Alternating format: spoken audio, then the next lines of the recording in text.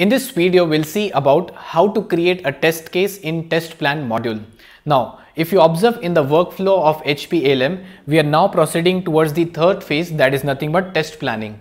So we'll be creating a test case in this test planning model. Now let me clarify one thing. Whatever I mentioned as test plan, it is not exactly the test plan what we use in the manual testing. In manual testing, we have a PDF document which has different types of components like test case objective or you can say as testing objective, types of testing, exit criteria, entry criteria or we have the environment setup, roles. So this is not that particular test plan, but here test plan is nothing but test cases. So test plan is a module inside which I'll be creating different types of test cases, test sets, also creating the different types of test run. So let us see practically how do we create a test case into our test plan module. Now to create a new test case into the test plan, this is the test plan. If you want to create a new test case, what are the steps? Now first of all, I'll just create a folder below this subject folder. So why do I need to create a folder? To organize all my tests into one place. So if I click on this new folder and now I can type as Mercury Tours. Okay. And then this folder is totally empty. Below this folder, I want to create different tests. So first of all, I can just click on this new test and then I'll get a dialog box. The mandatory fields in this dialog box for creating a test is you have to enter the test name you have to enter the type here. So I, will just enter the test name as book flight ticket. And then what type of test case is it? Is it a type of manual or it is some other automation tools like load runner also like qtp so these are different types of tools which it supports. So right now i'll say it is a manual one so i'll not select anything else. What is the creation date? So I'll keep it as empty because when I click on OK, the date and the time would be automatically generated there. What is the status of this test case? Is it under design? Is it imported, ready or repair? So I'll say it is in the design phase. I have not yet completed. The name of the designer, the person who has created, you can select the name from here and then I'll write some description. So I'll write as user should be able to book flight ticket that's it. And if you want, you can add some comments here. And right now I'll just click on OK button. So a test case would be created named as book flight ticket.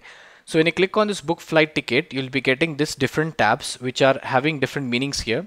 So right now if you see in the description part, I have user should be able to book flight tickets.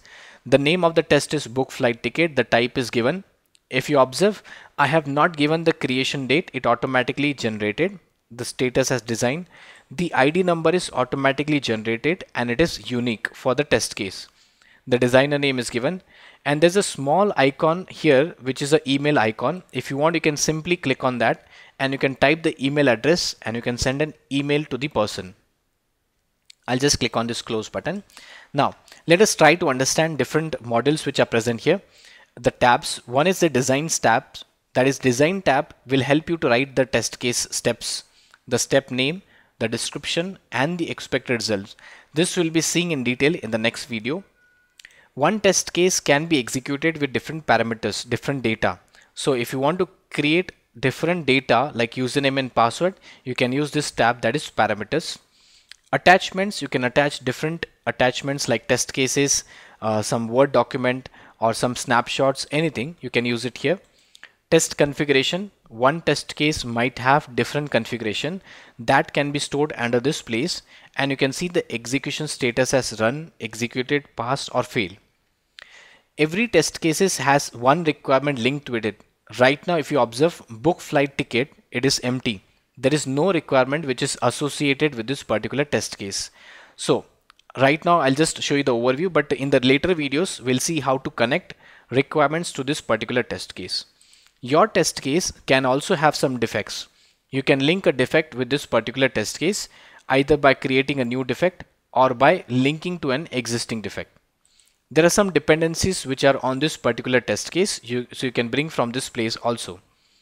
Business model linkage, if you have created, you can just attach it here and whatever changes you have made to your particular test case that will be designed that will be shown into your particular history place so in this history tab you can see all the changes made to your particular test case So this is just an overview about the test case.